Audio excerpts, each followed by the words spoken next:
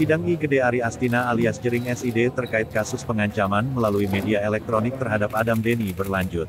Sebelum menjalani sidang, Jering sempat memberi membantahan bahwa dirinya tak pernah ingin bunuh diri, karena kasus yang menjeratnya. Namun meskipun begitu, Jering tak membantah bahwa saat menjalani kasus ini, dirinya sempat merasakan depresi. Saat ditegaskan terkait dengan dirinya sempat ingin bunuh diri, Jering tegas dan tenang mengungkapkan bahwa tuduhan tersebut dilebih-lebihkan. Diketahui, kabar Jering SID ingin bunuh diri ini beredar ketika Adam Demi sempat mengungkapkan bahwa dirinya iba kepada Jering SID.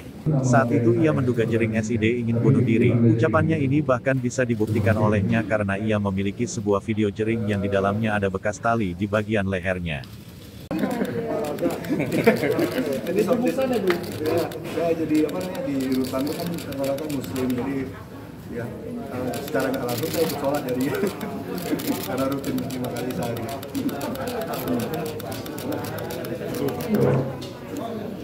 Ya namanya namanya orang kena kasus kan namanya orang kena kasus bermasalah pasti ada kayak yang namanya apa depresi.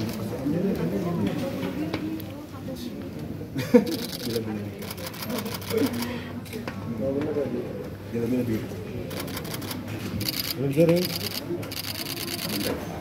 Ini gimana sih di tahanan tetap karya? Belum bisa karena bola belum bisa masukin gitar. Tapi lirik banyak. Lirik banyak.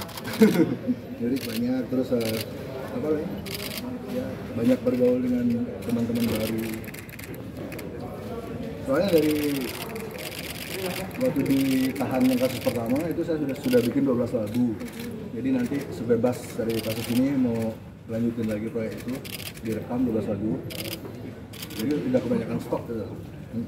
Kalau boleh bocoran, liriknya soal apa nih? Uh, kangen istri uh, tentang uh, hitam putih dunia hukum Indonesia tentang keadilan tentang kemanusiaan